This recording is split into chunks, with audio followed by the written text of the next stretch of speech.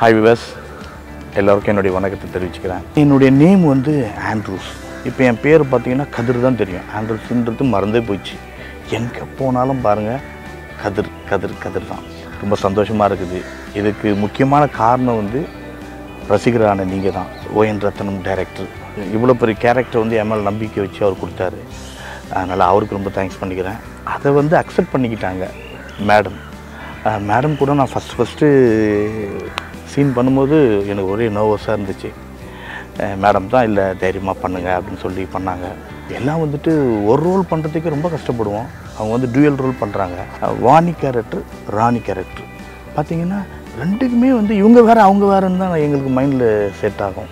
அப்படி அவங்க கேரக்டர் பண்ணுவாங்க. அவங்க கூட நாங்கள் வந்து ட்ராவல் பண்ணுறோன்றதே எங்களுக்கு வந்து ஒரு பெருமை.